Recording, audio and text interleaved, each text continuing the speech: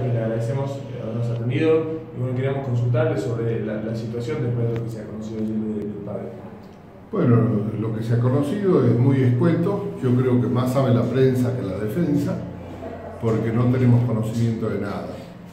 Acá ha pasado algo que es, este, eh, no es común, que Fiscalía tenga un año el expediente investigando y que no haya participado en ningún momento las defensas. En este momento el nuevo Código Penal le da igualdad tanto a Fiscalía como a la defensa para poder estudiar un tema. Aun cuando no haya todavía causal de imputación, si hay investigación, se debería haber notificado al padre para que el padre también compartiera el tema de las pruebas.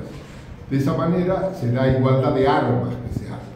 Bueno, eso no sucedió, pese a eso tampoco creemos que sea demasiado importante, porque vamos a tener la oportunidad de defendernos, pero no tenemos el conocimiento de qué nos estamos por defender.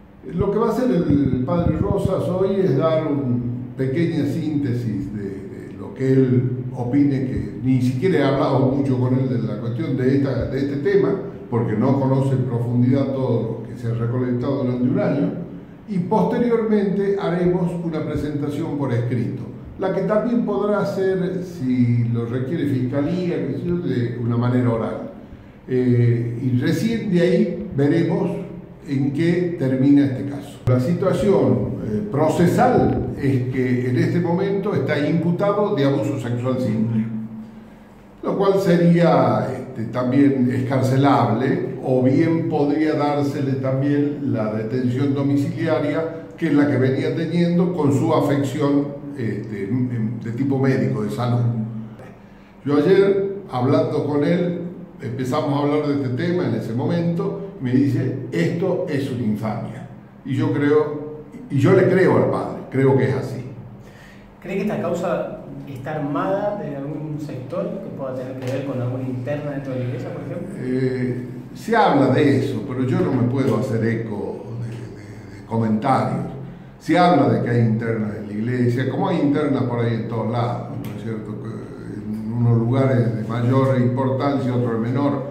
Eso no nos consta, pero si lo supiéramos y de alguna manera descubrimos de que esto es una causa armada, lo vamos a hacer público. Los delitos eh, contra la integridad sexual son de difícil actividad probatoria. Eh, ¿Su experiencia qué le dice en Y bueno, que nunca vas a tener una fotografía o un testigo directo del hecho. Siempre son testigos de dichos. Pero hay que ver también la credibilidad de esos dichos. Y de los estudios psicológicos de la denunciante no son favorables a. Entonces, una vez que los analicemos en forma profunda, podremos emitir una opinión que sea seria. ¿Van a poner peritos de parte? Eh, primero voy a analizar la prueba, voy a hacer analizar y después veré que eh, la semana que viene ya vamos a tener una idea clara cuál va a ser la defensa.